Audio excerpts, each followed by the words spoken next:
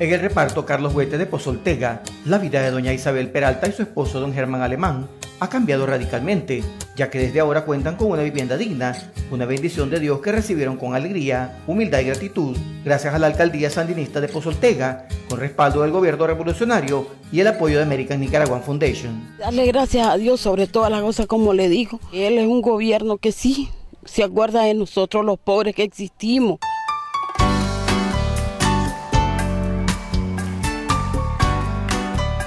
Las familias polsoteganas tendrán mucho que celebrar, ya que se dio cumplimiento a la inauguración de las primeras 26 y una casa comunal.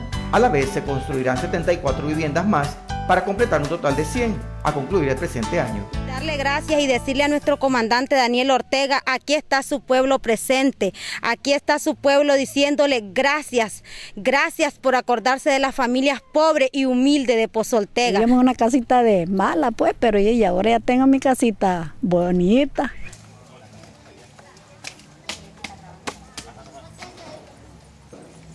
Contenta, alegre, porque tengo una, una, casa humilde, decentemente para vivir ahora con mis hijos. Las viviendas de 36 metros cuadrados cuentan con dos cuartos, sala comedor, letrinas, instalación de agua potable y electrificación de la zona, entre otras importantes mejoras en la calidad de vida de los hermanos pozolteganos. El pueblo sigue beneficiándose y el pueblo sigue siendo presidente. ¿Qué es lo más importante en todo esto? La familia, en la autoconstrucción y en la colaboración de cada uno de sus proyectos es la prueba fiel de que en oración está la llave de la bendición. Sí, yo lo creo que Dios es el que hace todo y que mueve los corazones y él toca las puertas.